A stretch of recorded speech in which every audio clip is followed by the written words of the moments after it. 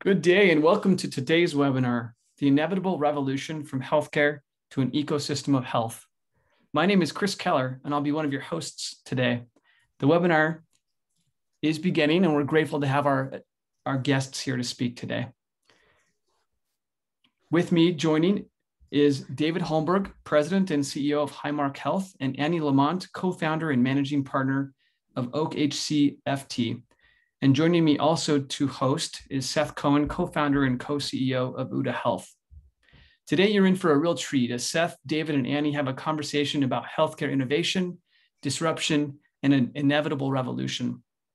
Today's webinar is being recorded, and within 48 hours, we'll send out a link to an on demand recording, transcripts, and the slides. We'll also be taking questions throughout today's discussion.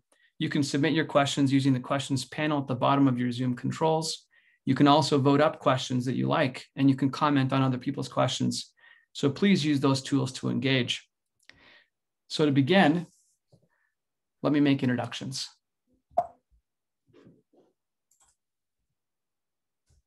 Seth Cohen is co-founder and co-CEO of OODA Health. Previous to OODA Health, Seth served as the vice president of sales and alliances for Castlight Health. At Castlight, led Seth led the team responsible for market partnerships and key national accounts. Seth was one of the earliest employees at Castlight and served on the leadership team.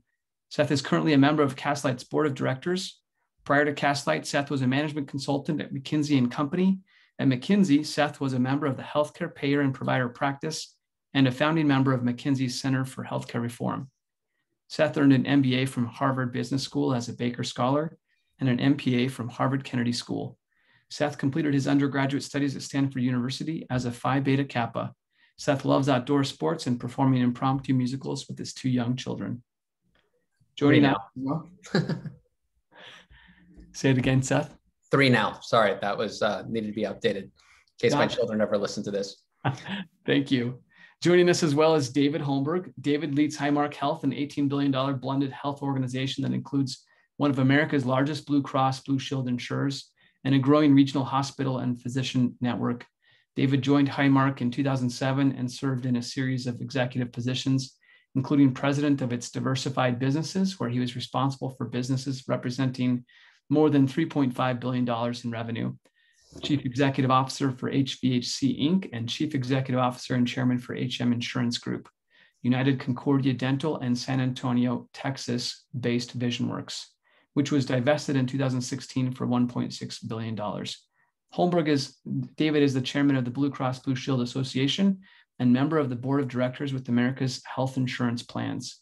He received his master's of business administration from the University of Texas at Dallas and is a graduate of the Harvard Business School's advanced management program. Annie Lamont is co-founder and managing partner at Oak HC/FT.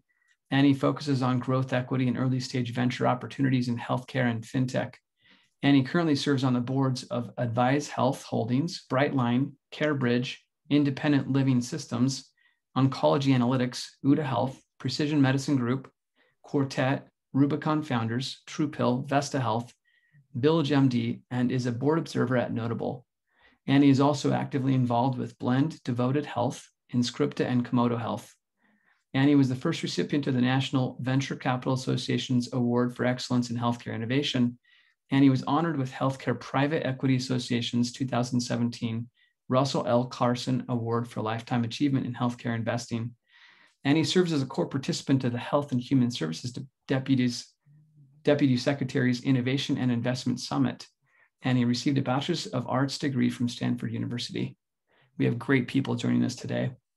So, with that, let me turn the time over to Seth. Seth, go ahead. Thank you.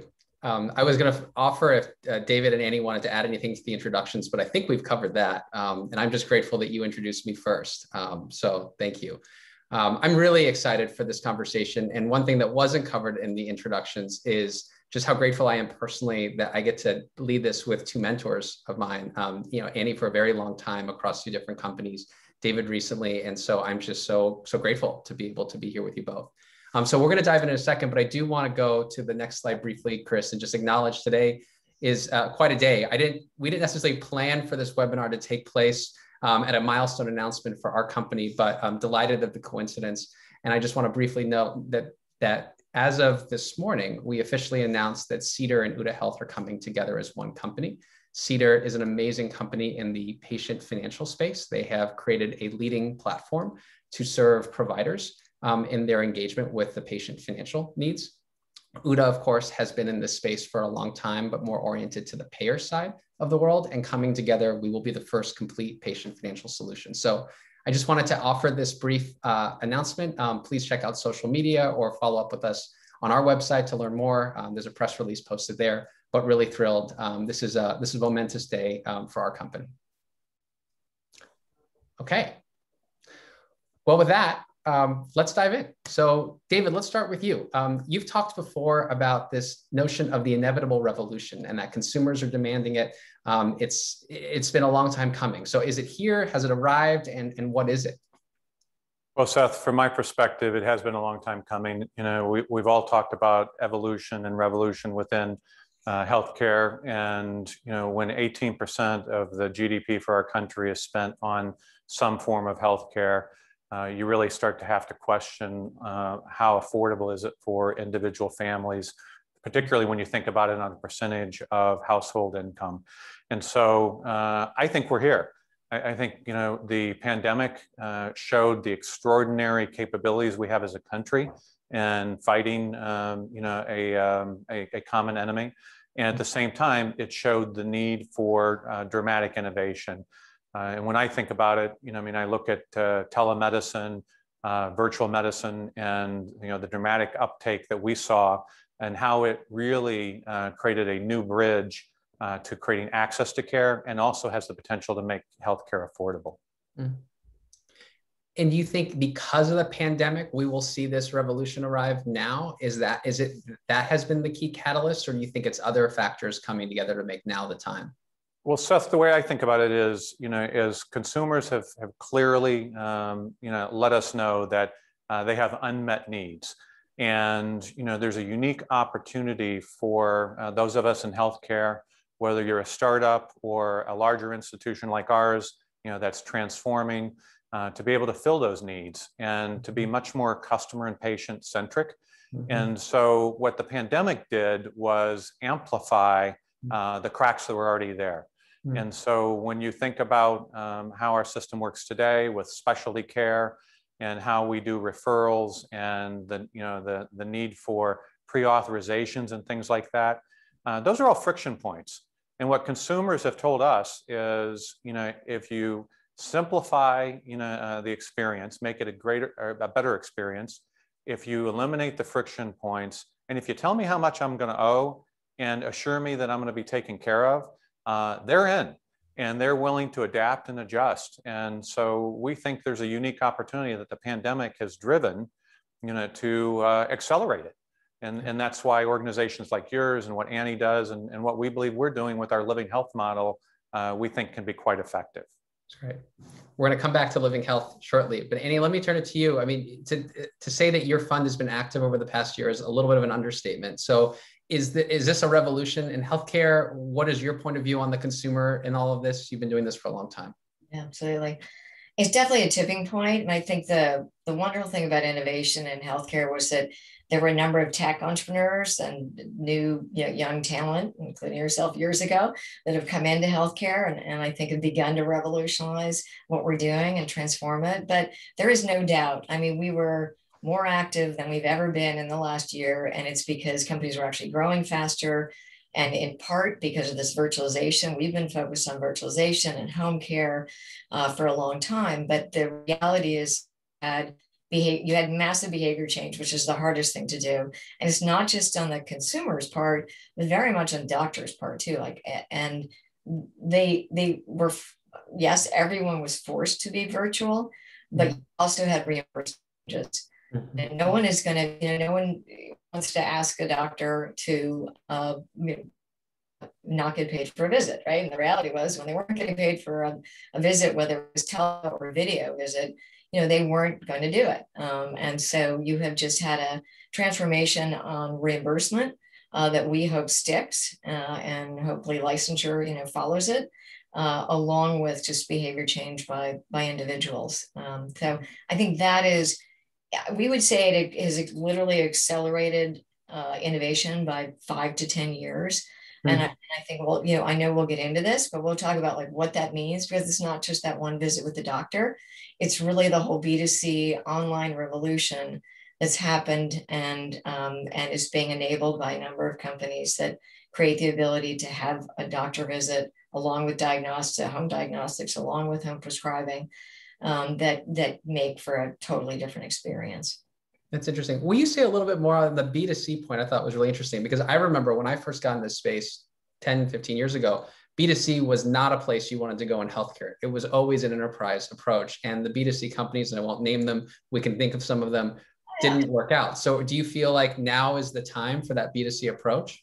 Yeah, well, I th- it's so interesting because you literally asked me two years ago, like, no, we don't do B2C in healthcare because consumers don't pay, right? And so you, you've obviously seen some examples of consumers paying, but the the the rethink on this hmm. is that online is simply may start B2C, but it's mm-hmm. really just another p- provider in the network is mm. just another provider in the network. So when I think of when you think about healthcare, going to your local doctor is B2C, right? How did you find that doctor? Well, you might have found him on ZocDoc. You might have found him usually through a friend, you know, references them. You are, it's a B2C experience. It ha- just happened to be in person. Mm. But, you know, and then that doctor or provider has a relationship with a payer where they're getting reimbursed for what they're doing.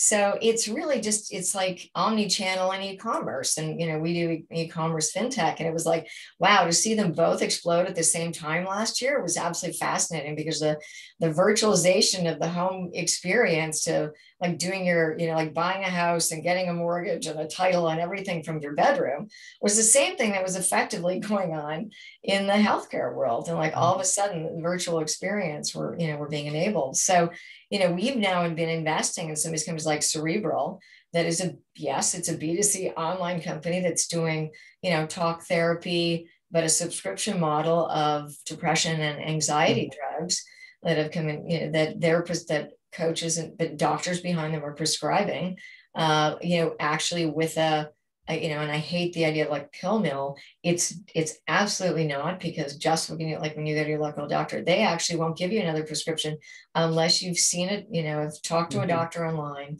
uh, and you know, are are actually pair along just mm-hmm.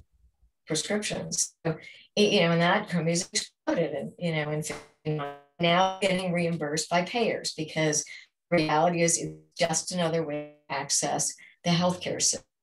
And I talked to in fact, one of the CEOs and one of the major blues said his son was another state, in New York at and didn't have a local doctor and needed his uh, anti-anxiety meds.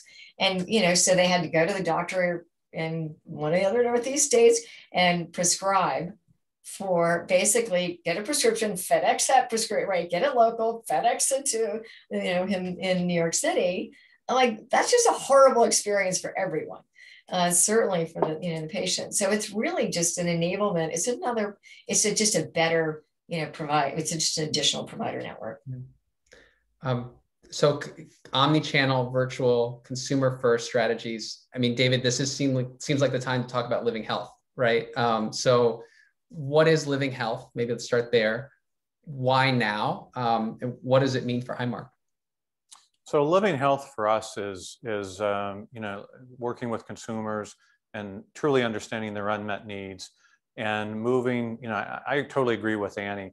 You know, um, historically, payers have been on one side of the, of the table, providers have been on the other side of the table, and, you know, there was some sort of negotiation. Living health is about bringing everybody to the same side of the table uh, in service of our customers, our, our members, our, our patients. And so, uh, so and, and that's what we're doing, you know, with the Allegheny Health Network uh, in Pennsylvania.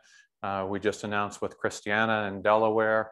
You know, this is all about, you know, how do we work together and, you know, and again, figure out those unmet needs, you know, reduce the friction points, and make sure that the economics reinforce the right behavior, which is about getting upstream, you know, uh, and dealing with the issues, uh, bringing in, you know, mental health and behavioral health uh, into the equation, and finding ways to, to avoid those acute incidences that, that tend to happen. And so uh, our, our interest is in bringing together um, the, the rich technology that exists today that wasn't here 20 years ago, uh, adding our clinical expertise and, you know, and bringing to bear, you know, um, you know, all the financial components that are necessary to really change things. That's why we're mm-hmm. doing the Google partnership and with Verily uh, to develop different clinical pathways. You know, that's why we're embedding them in products and solutions on the insurance side so that um, so that uh, employers understand the value. And you start to bring all this together in a way that's different than what has been done in the past. Hmm. So what, what will that look like if I'm a member of Highmark and I'm in this living health model? You talk about moving upstream. So how, how will this model help anticipate and engage me in things versus today's kind of model?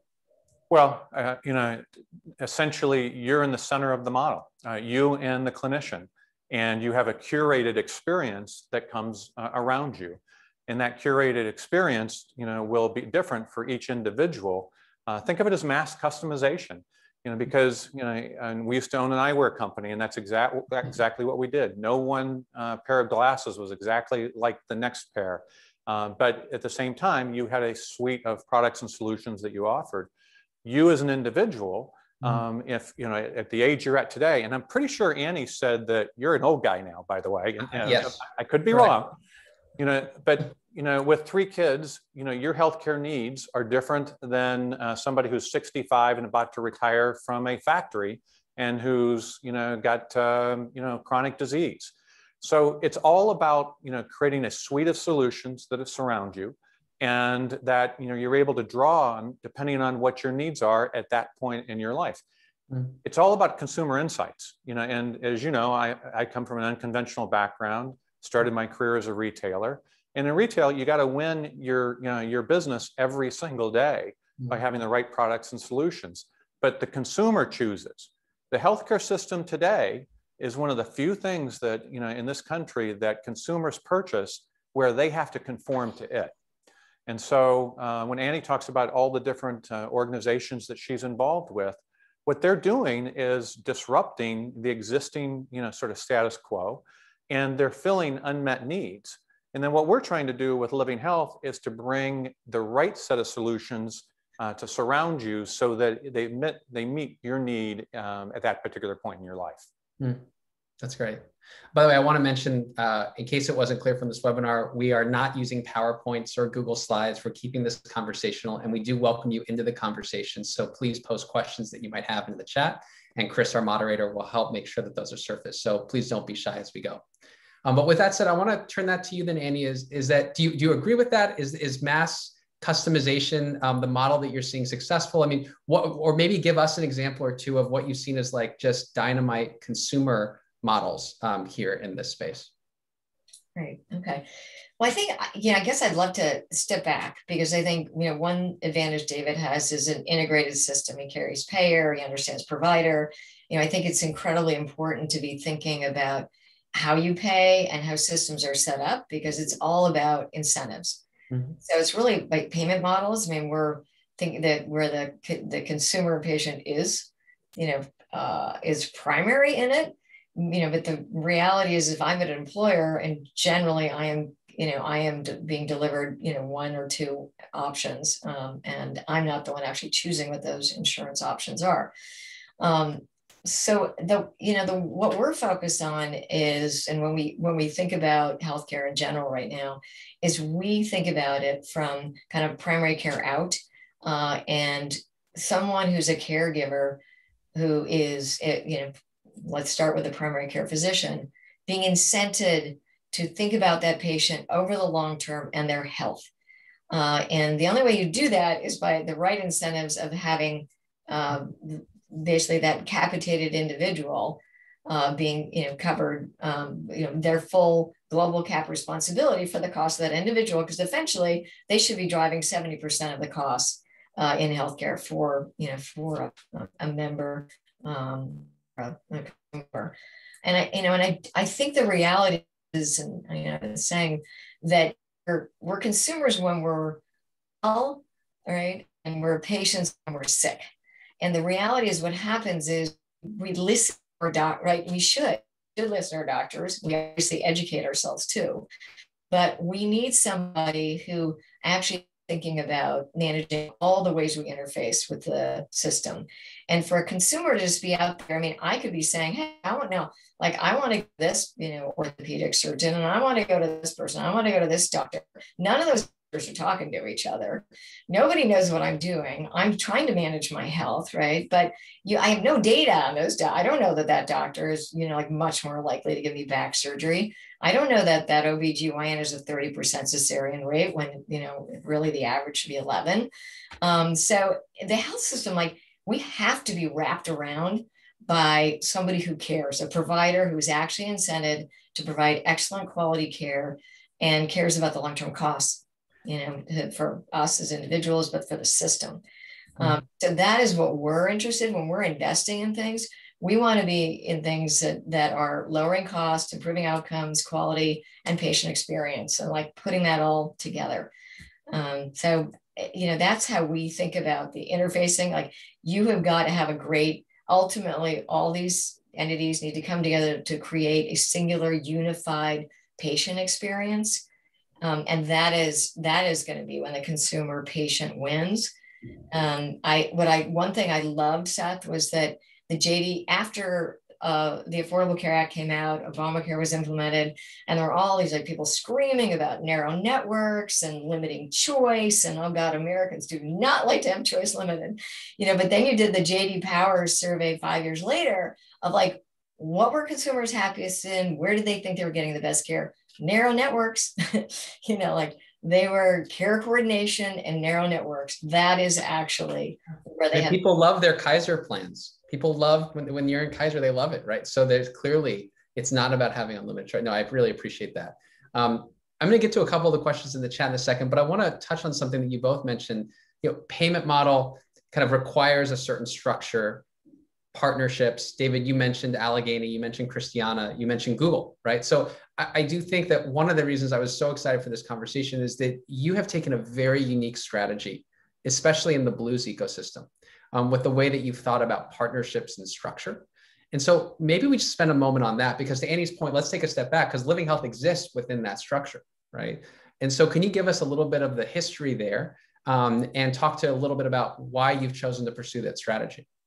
Well, I, Seth, I was very fortunate that um, you know we, we live in a hyper competitive market, and we were in a unique position as a as a the fourth largest Blue Cross Blue Shield plan at Highmark, you know, to um, you know to choose to invest and stabilize a um, at scale health system, the Allegheny mm-hmm. Health Network, which was 12 hospitals, you know, a couple thousand physicians. Uh, it does about three and a half billion dollars a year in revenue today. And, you know, and what we found um, was in our efforts to preserve uh, competition and choice in the community, you know, that we had this very unique, um, you know, a live laboratory mm-hmm. where we could, you know, we could see, you know, the decisions that we made on the payer side, how they played out uh, in a health system uh, and on the front lines. And we could draw uh, with a, a physician-led organization uh, and you know the, the various physicians in and get the concepts and ideas and understand you know where the opportunities were. And so uh, we've turned it into you know uh, what i would consider a transformational startup uh, at scale. I mean uh, I, I, have um, you know I, I, love annie and the work that she's done and, and the organization she's involved with. Some days i say to myself gee i'd like to go down to the warehouse district here in the strip and open up um, a startup down there and, and, disrupt healthcare from that perspective. I look at it as though um, Highmark Health, we have a unique uh, position because we do have market density when it comes to insured mm-hmm. lives. We have the ability to, um, to bring organizations like yours in at, with the Allegheny Health Network, learn from it and quickly scale it over millions of people.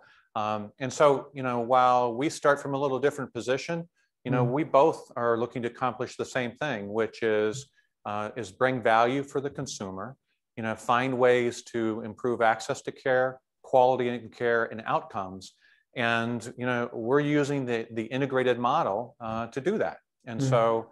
Uh, in our world, you know, I mean, uh, it's a blended model. I mean, uh, we have the physicians at the table, you know, with the insurance people, uh, and the actuaries, and you know, and we're working together around clinical pathways and what product design should be used in order to uh, move care to at home. You know, rather than trying to protect an existing position, mm-hmm. we want to partner with others and innovate and find ways to you know to deliver care differently.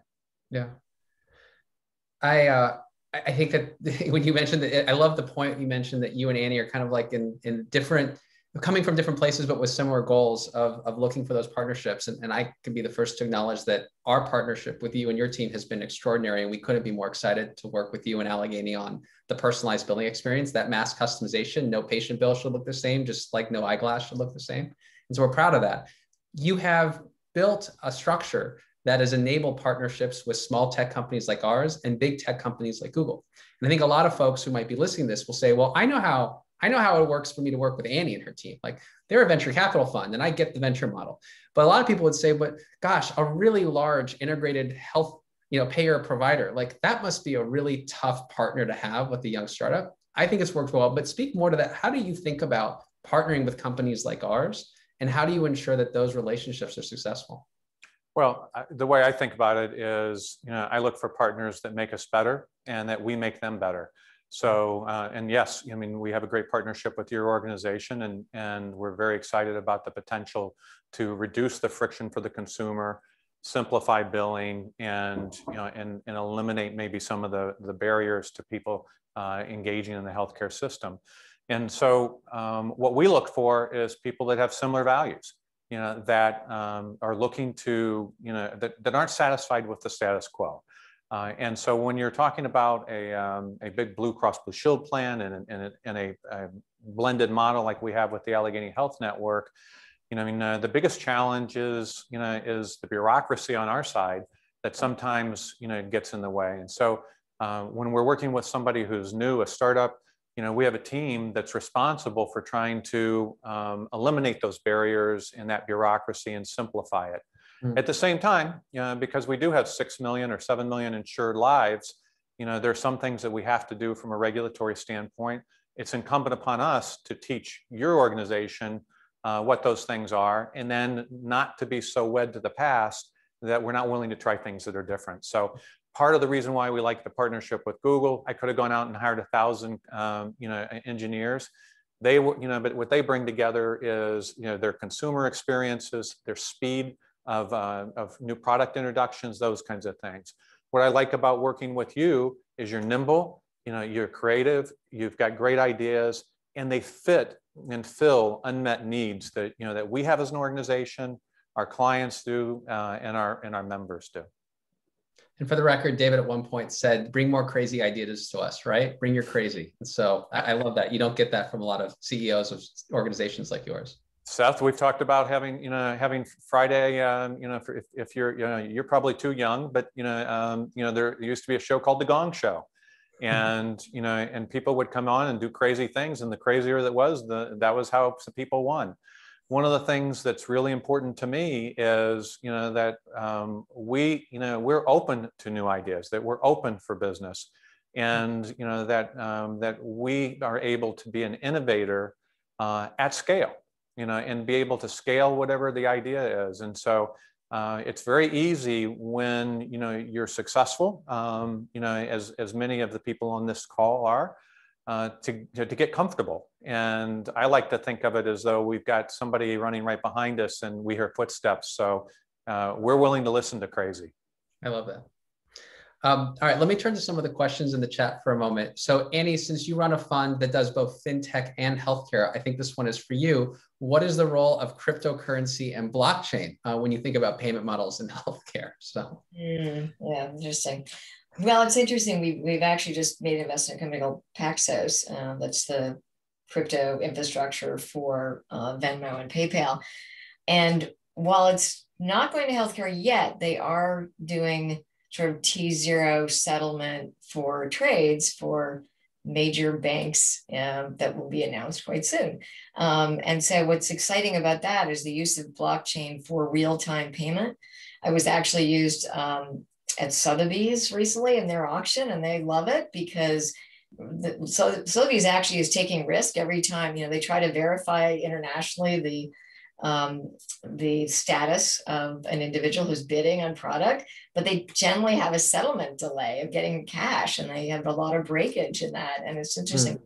That was like immediate settlement time. So I think there are going to be some interesting ways. I mean, we've we've looked at things in blockchain for supply chain, right? Mm. You follow a drug all the way from you know from component to factory to to the consumer like there are some actually interesting things you can do with blockchain there. Interesting.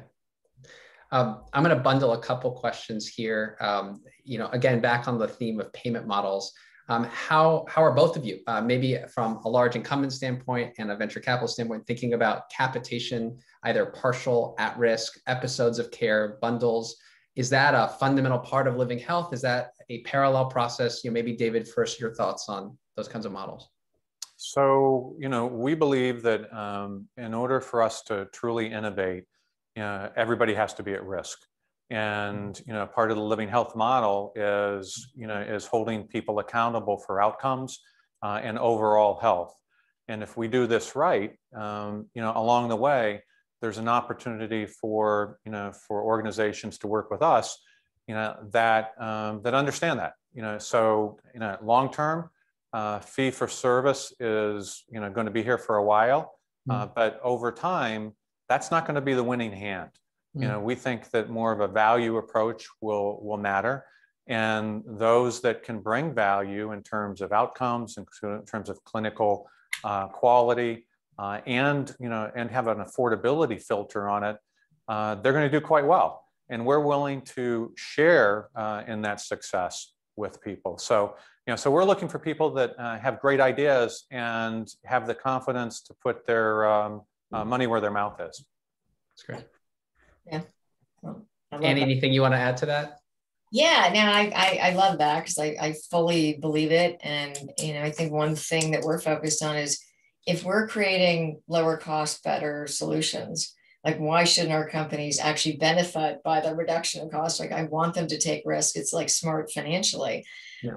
I think for the system, I just think the only thing that really works is a, a global cap model that you are responsible for everything around that patient. Um, because otherwise, like I, bundles don't work. I, I just don't, you know, I, I know it's a transitional thing. I know we're learning it like knees, hips, I mean, there's some advantage to being, being responsible for post-acute care, but that doesn't change the how many you do, right? Doesn't it, it that you know, and that's a fundamental question, right? Like, what did you need to do? What could have been done differently with therapy, you know, with physical therapy? I, I really hate things like MLTC model. I hate models where here you're responsible for the home care or you're responsible for the home and community-based care, but you're not like, wow, you know, you're you're you're you know, the minute that uh, there there's any risk with that patient, you're shoving them over to the hospital system or you know to somebody else. Like that is a terrible model. Like I don't even know how we got there in America. I mean, we should absolutely shut down those programs because while I believe in home and community based, you can't like get, make people at risk for something where they're incented to actually push people out when there's when they get more expensive and you throw them back into the most expensive place to, you know to take care of them. So that I'm, you know, and I think every primary care, you know, Village MD were invested in, Everside and Firefly and Galileo, and those are going to be all like fully at-risk models. Yeah. Annie, you know, this is a webinar and I know your inclination is to be really polite, but I really want you to feel comfortable saying exactly how you feel. You know, don't hold back on models you don't like. So, um, no, I pre- appreciate that and helpful. And by the way, I, I, think a little bit about that with the patient administrative experience. I mean, you're talking about it clinically, but you know, in my world, uh, when we think about the patient financial experience, it's often sliced up that way too. You've got one vendor that's kind of handling pre-service and like, hey, David, like I'd like to collect a couple dollars from you before you show up, and then there's that post that that kind of point of service, like, hey, let me collect twenty dollars. You're here, and then the post service is let me now chase you for whatever's left in that bill, and if I don't get you, I'm going to send you a bad debt vendor into a delinquency vendor, and it's like everyone gets this little slice of that patient administrative experience too.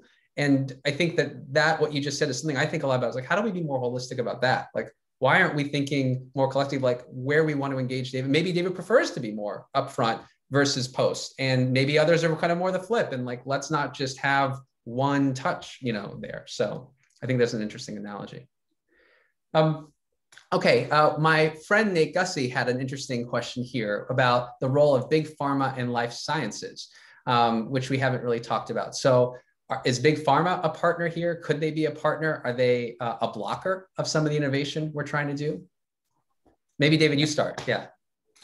Well, I would say that, um, you know, and I'll just take one example, Pennsylvania, you know, 27% of the healthcare costs for, you know, the average insured person, uh, commercially insured person in Pennsylvania goes to uh, pharma. Uh, so, you know, I mean, uh, you know, they need to be part of the equation. Uh, and there's potential to be um, be part of the solution there. And so, you know, we, we think that uh, whether it's Civic RX or some of the other things that we're doing, um, you know, that's a part of the solution. Uh, but there's a lot of work that's got to be done. And you know, I mean, we're coming off of a, a pandemic where um, where research that you know goes back what to 2008, 2009 you know, has um, you know been part of the the vaccine solution uh, that you know that everybody believes happened overnight. But the reality of it was there was a lot of work that was done prior to that, and they deserve to be paid for that. You know, mm-hmm. and we have to find ways to make sure that we encourage uh, that kind of research and development. Um, but you know, again, uh, pharma needs to be part of the solution. I think Annie described it well you know, you don't want to just have the slice of the at-home, you know, care, and then as soon as things start to go south, you dump them on somebody else. You want to, um, you know, have a global risk of some sort.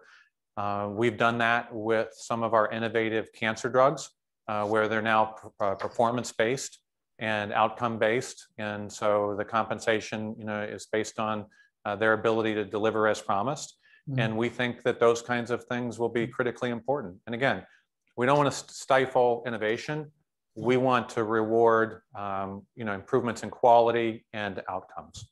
That's great. Annie are you seeing big pharma or big life science uh, in your port working constructively with your portfolio?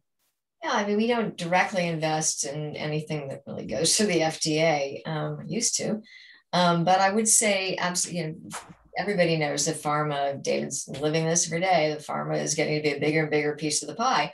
Um, and you know, more and more expense there as amazing drugs are created and there's lots of innovation. And i think half of drug spend is now specialty drugs. Um, so eh, you know it's it's absolutely an issue.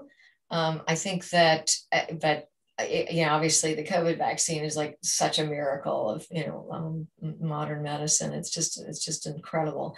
And we are the innovation engine for the the world uh, and that we want to remain so so I, I, think it's a conundrum. I do think that the whole distribution chain is absolutely ridiculous and broken. I mean, we've owned a PBM, you know, in the past. We, you know, we're doing a transparent PBM uh, now uh, in terms of trying to take out, you know, make it very transparent and take out the cost and show people what the real cost, you know, these drugs are. Uh, and I do think between you know the distribution networks and PBMs, and there's just a lot of cost layered in to something that that we absolutely need to simplify and figure that out. And i think you could you could take certainly 5% out of cost right there.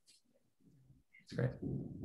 Um, you know there was another question here that i want to open up a bit which was around kind of consumers and their financing needs and payment plans. And i think we are seeing to the question you know a big explosion around payment plans and affordability solutions for patients because patients have higher deductibles and kind of we know that trend but the, the way I want to open the question for you both is for David and Annie, you, if you think about in the next five years, what are some of the patient innovations or patient experiences that are coming online or that you're seeing in the frontier that you're most excited about? You know, Annie, you mentioned earlier, you know, the virtualization of care and that home-based care is really here. And we've now created a reimbursement model that hopefully will stick. So is it the virtual settings that we think is going to be the most impactful for the patients or something else on your minds? And David, maybe I'd ask you to kick that off.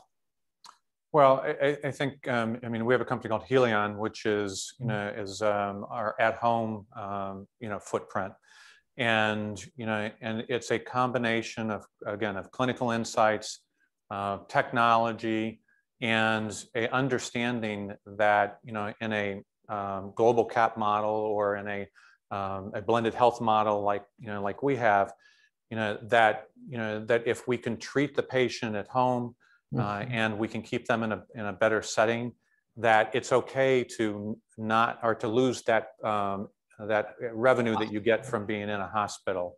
And you know, we feel as though um, that we're in a point now where you have the the tools from a technological standpoint, the monitors, uh, et cetera, that if you have a bricks and mortar light footprint uh, and one that's more mobile and you can bring the clinicians to people, uh, that, you know, that's the wave of the future. I mean, how my 30 year old son in Los Angeles, um, you know, uh, consumes healthcare is dramatically different uh, than maybe uh, the way I did when, you know, when I was growing up.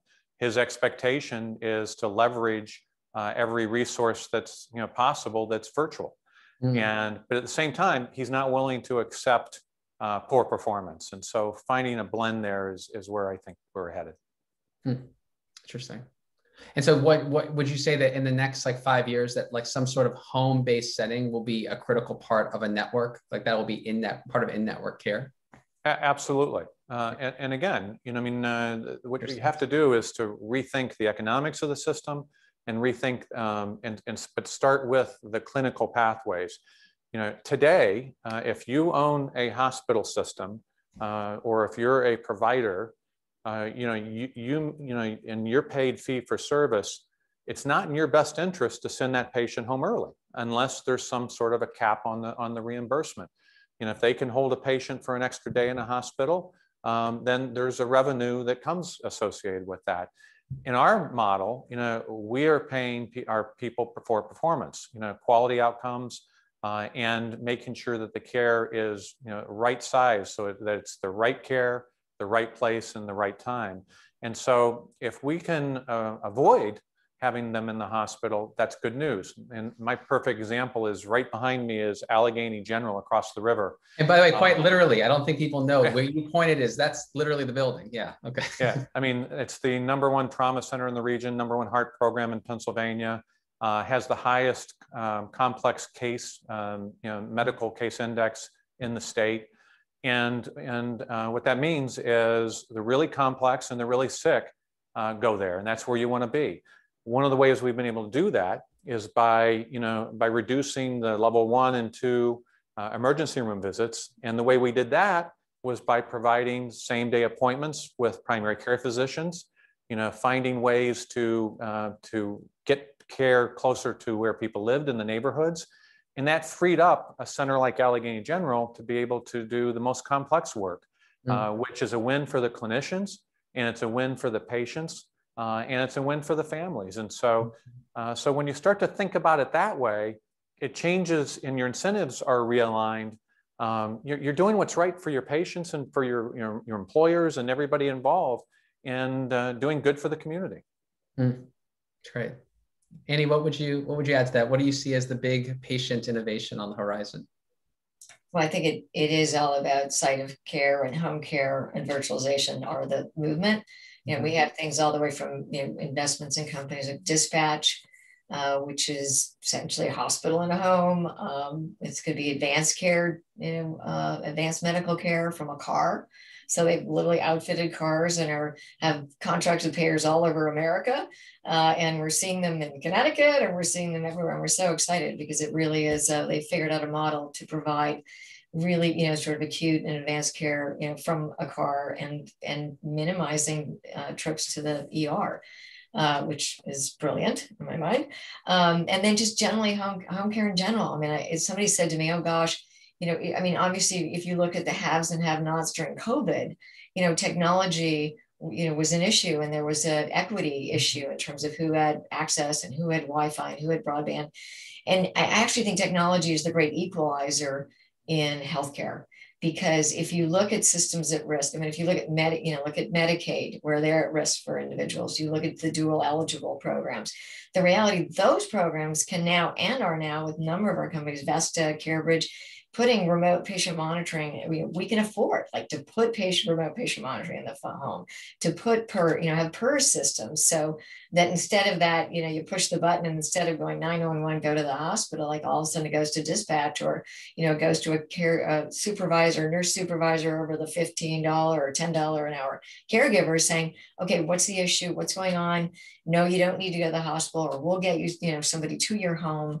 Um, and so you can really provide a a great environment at much less cost than these seriously ill patients are costing the system. And it's just a much better experience for them and uh, and obviously uh, saves the system a lot of money. So we are all about home care and virtualization and enablement. Um, yeah that's great.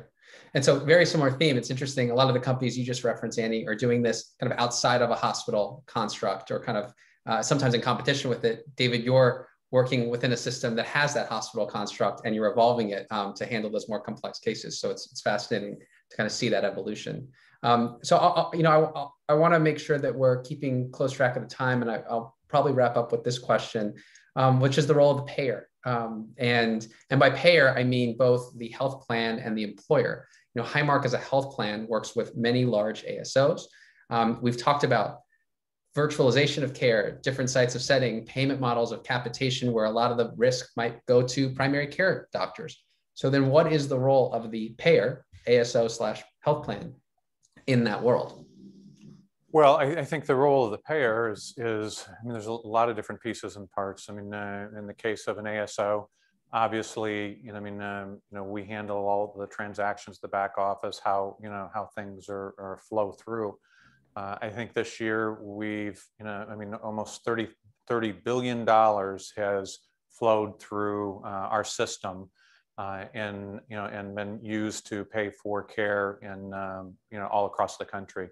And so I think there's always going to be a need for that because I, I, as we've seen, even really large companies struggle uh, with interacting in the healthcare systems. Uh, you know, I mean, we've seen uh, large companies who have tried to go it alone and figure out their own approach, uh, and that hasn't worked. And part of that reason is because um, you know they can't get through the last mile. And, and what I mean by that is you know the, you know in that last mile you have the physician engagement and you have the patient engagement, and you've got to change behavior. And I think that's where um, like a Highmark uh, and and having a uh, integrated or a blended model like we do with the Allegheny Health Network uh, puts us in a unique place where we add value to uh, employers uh, that's a little different than just aggregating risk and paying claims. Because the future for all payers uh, is to move from just aggregating risk and paying claims and being uh, a partner in how care is delivered, incentivizing the, the, the, right care, and doing it in the right ways. And so, um, you know, we no longer can be across the table from people, as I described with Christiana. We're now on the same side with mm. Christiana. Um, and, you know, being the second largest integrated health system in the, in the country behind Kaiser, you know, uh, between Highmark and the Allegheny Health Network, we're full at risk. I mean, if we yeah. deliver the outcomes, uh, we win. If we, yeah. you know, if we keep people out of that acute setting in the hospitals, um, and you know, and we deliver better value than you know large corporations, ASOs um, will you know will seek us out, uh, and that's our objective. Yeah. I mean, is it fair to say that in some ways, uh, the health, the health plan in your system is evolving from managing risk to managing information too? And I think about like the work you're doing with Google and the Google Cloud of being more of a data company and leveraging the data that you have to drive these experiences. Absolutely, Seth. I mean, it's where it's, you know, we sort of started this conversation is, you know, a curated health experience means we give you the tools to be able to make good choices and, and it's up to you. But we also give, uh, we take that data and, and more importantly, the insights that we're developing with Google, you know, the insights that we can bring to the table that also um, enable you and your clinicians to be proactive. Mm-hmm. And that's how we're going to avoid some of the, you know, some of the really difficult things that we see. We have a country that um, is awash in chronic disease. And, you know, and if we, if we want to change how healthcare is delivered and the cost of healthcare, you know, we've got to, um, you know, bend the curve around chronic disease. Annie, I'll turn it to you for any concluding thoughts. I'll just say that, you know, for us at OODA, we founded the company because we felt that it was imperative now for payers and providers to work together on behalf of the patient and work for the patient versus putting the patient in between two organizations or that were just fighting with each other uncoordinated. So to hear you talk about the work that you're doing and the evolution you've taken is so energizing for us because that's truly the mission of what we built. Um, so with that, Annie, I'll leave it to you. Any final thoughts you wanted to share on the role of the payer? Yeah, no, I, I agree with everything David said. And, you know, when we seated OODA and worked with Seth and, and Giovanni, it really was about this, this integrated view and the reality that the consumer was losing out. Uh, and the only way to actually create a better member experience for a payer uh, and for the consumer was to have the payer ultimately responsible for the lifeline of that bill, right? Because you you go to many different, you may be touching many different providers, they may be in different systems, and the pay it's the, the patient has no idea actually what you know what their bill is and what they owe. And i have heard so many people from payers and providers say oh i wait nine months before i pay anything because i have no idea you know like what i actually owe. Um, and so you know what was interesting to me is it was it, it ended up being about the member experience at the end of the day. And you the only entity that, that has the longitudinal uh, uh, you know relationship with the member is the payer. That's right. So that's where it you know has to um, a very important part of our system. Thank you. I think that's a great place to to end it. Um, David, Annie, thank you so much for taking the time to participate in this and for your support and evangelism of all this great innovation out there. It was really a pleasure. Thank you both. We appreciate the opportunity. Thanks, David. Thanks, Seth.